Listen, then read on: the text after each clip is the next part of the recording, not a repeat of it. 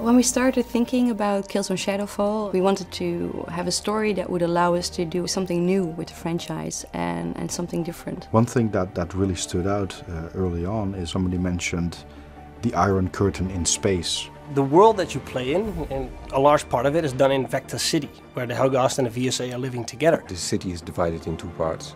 On the one hand, you have this lush, beautiful world, which used to be uh, the Vektan city, but on the other side of the wall, there is now New Helghan.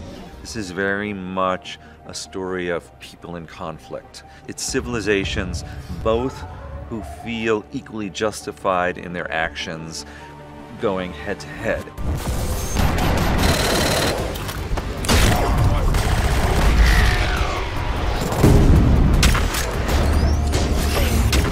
Always drawn on kind of history. We're a science fiction universe, but at the same time it has to be relatable. It has to be something that is grounded. It reminds us also of the Berlin Wall, where this threat has always been looming over Europe, like this uh, nuclear devastation. I still remember from when I was little looking at the Berlin Wall situation. You sort of grew up being told that, you know, the, the, the, people on the other side of the wall were the wrong ones and we were the right ones. Everybody East just sounded really scary and really dangerous and what was beyond that wall you cannot trust and was all, all sorts of propaganda almost. And then when the, the wall was broken down, you saw it really wasn't like that at all. What you see in, in real conflicts as well is that the bad guys aren't just bad. There's also, you know, there's also civilians and good guys. And that plays through uh, as a theme in Killzone Shadow Fall. The game initially sets you up to hate these other guys. I mean, you're shooting these bad guys, you think they're bad guys, and then you start to realize that there's more to them. I can't believe they just throw us out like that.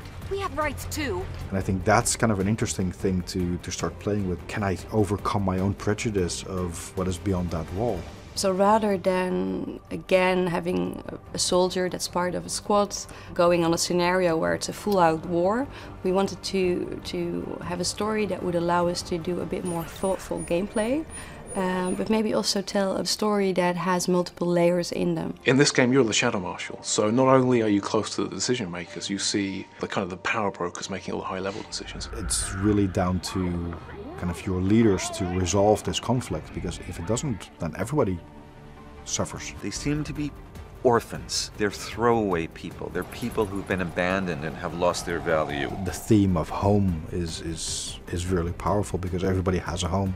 What do people who have been rejected by their societies, what do they go on and do? And in many cases, they have a grief that moves them forward, but it also gives them a kind of freedom that in some way they feel like they have nothing left to lose. For those willing to listen, there's there's something to adjust their own kind of thinking. You start realizing that they're not all bad and they're all also trying to kind of fight for their own freedoms and their own home.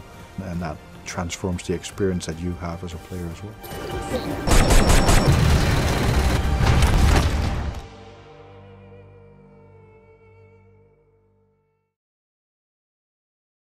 ステーション。